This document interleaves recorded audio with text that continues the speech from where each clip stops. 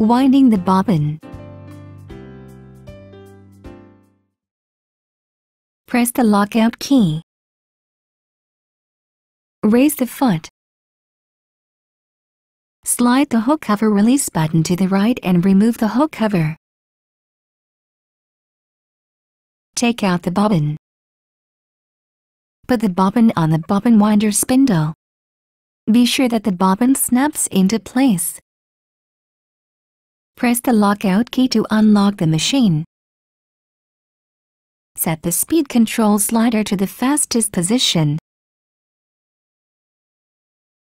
Place the spool of thread on the spool pin with the thread coming off from under the spool.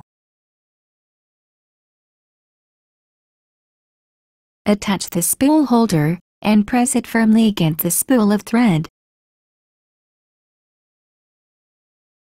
Hold the thread with both hands and firmly pull the thread into the guide slot until the thread snaps into the guide slot. Firmly pull the thread to the right while holding it with your hands. Hold the thread with both hands and wind it around the bobbin clockwise several times. Insert the thread into one of the slits of the flange plate and pull the thread to cut it. Push the bobbin winder spindle to the right. The visual touch screen will show the bobbin winding sign. Start the machine.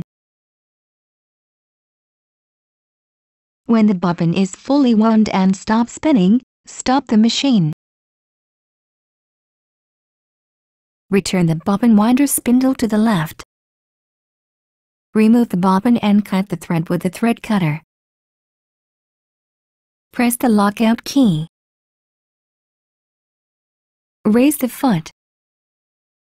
Place the bobbin in the bobbin holder with the thread running off counterclockwise as shown on the hook cover plate.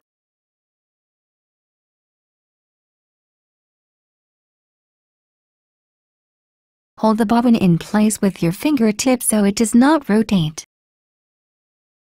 Guide the thread into the front notch of the bobbin holder. Pass the thread under the guide and pull it to the left. Pull the thread slightly until it passes through the side notch. Pass the thread into the guide paths marked 1 and 2. Pull the thread to the right through the slit. Make sure that the thread comes out from the side notch of the bobbin holder. Insert the hook cover plate. Press the lockout key to unlock the machine. Extra spool pin. Use the extra spool pin when you need to wind the bobbin without unthreading the machine. Insert the extra spool pin into the hole.